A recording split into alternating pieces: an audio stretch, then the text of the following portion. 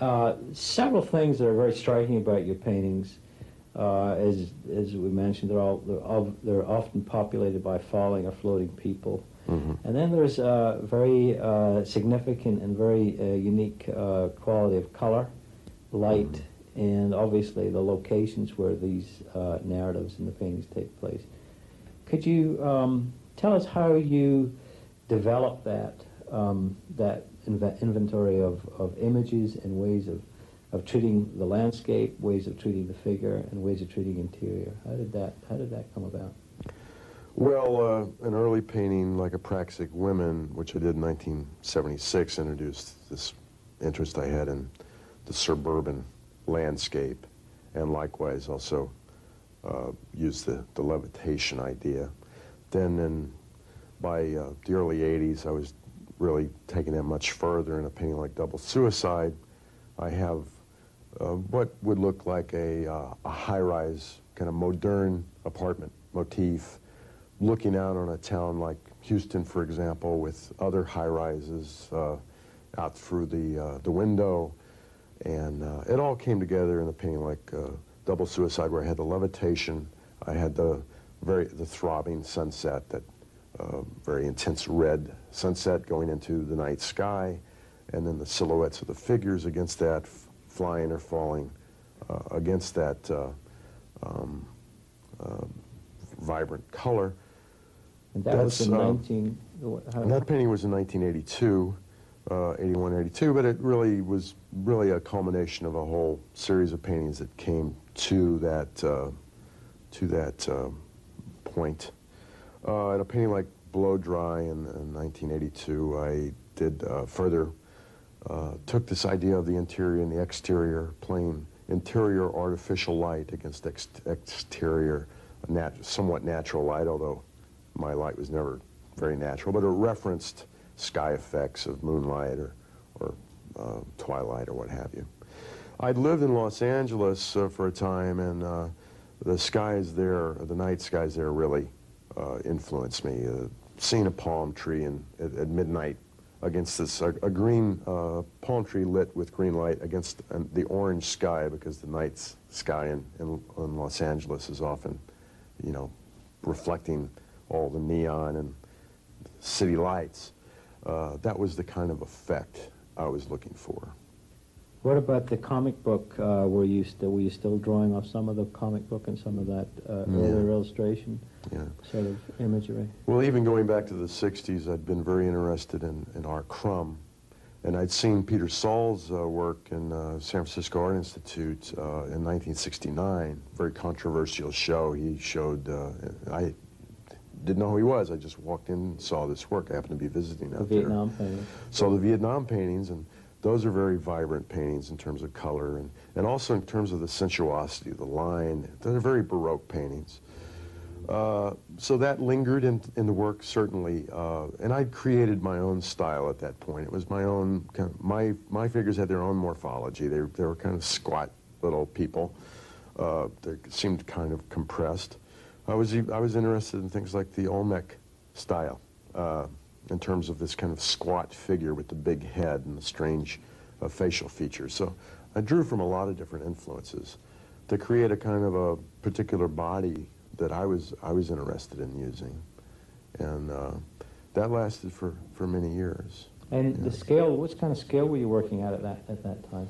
You, In the 70s, I, I'd done big paintings, but in the 70s, uh, a lot of the paintings had been rather small.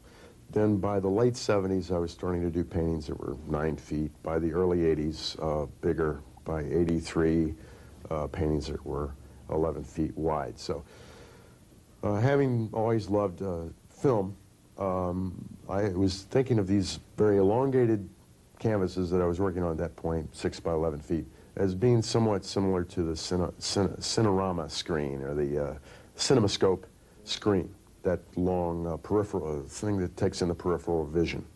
I really sought the, um, my immersion in painting. I was always was looking for a way to immerse myself in this other world.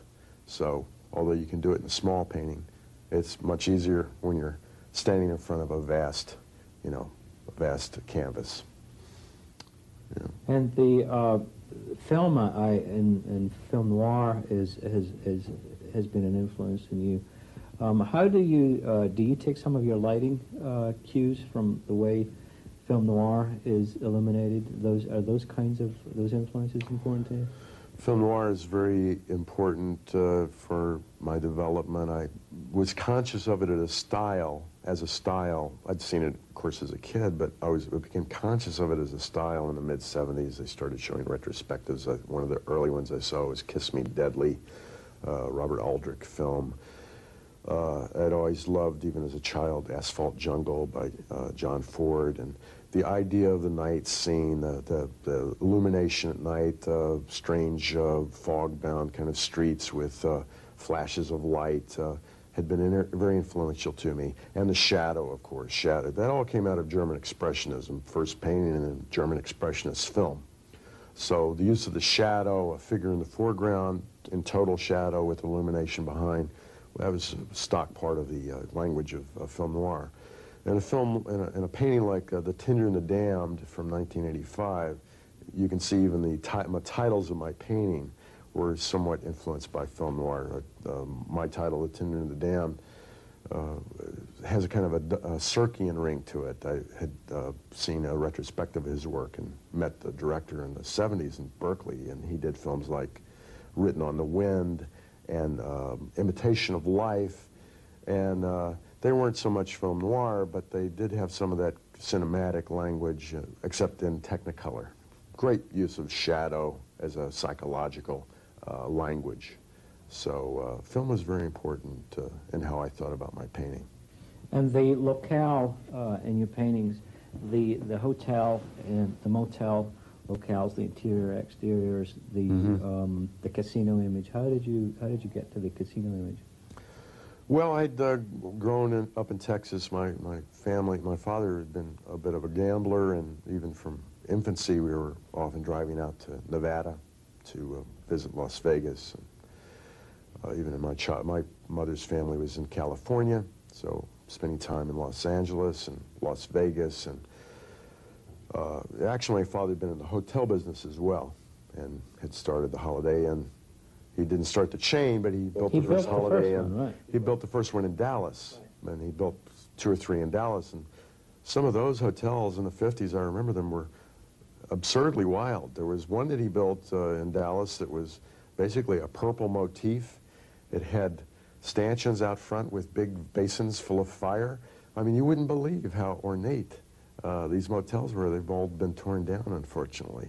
Some of them are still in Las Vegas. You still get a sense of that 50s over-the-top style.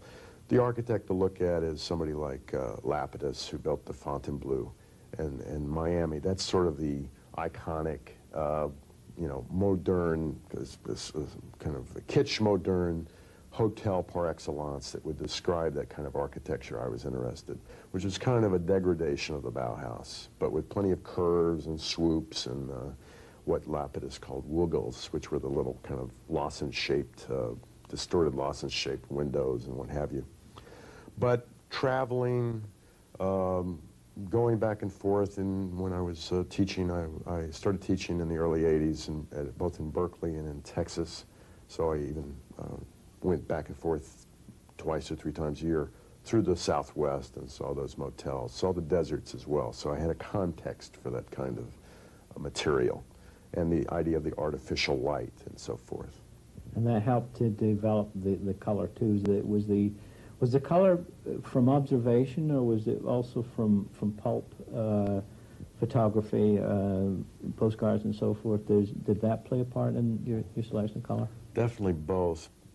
I'd be driving through a uh, a desert at night, and I'd come across a motel in Arizona, and they'd have a little palm tree along the road lit up with orange on one side and green on the other, so you'd have this silhouette against the desert sky of, you know, the contrasting colors, orange and green, and so that obviously made its way into my painting. There was something so magical and otherworldly about that kind of use of uh, landscape illumination. It's considered tasteless now, unfortunately. You don't see it much anymore, but back then you still saw remnants of those multicolored landscape illuminations very interested in postcards. I found a big cache of uh, True Confidential magazines in an about abandoned building in the late 70s, which had the kind of the paparazzi look in terms of that's where I had already been interested in people like Fellini, but saw that kind of initial 50s paparazzi, the photographer bursting into the bedroom and catching the people on flagrante in the uh, bed and so forth. And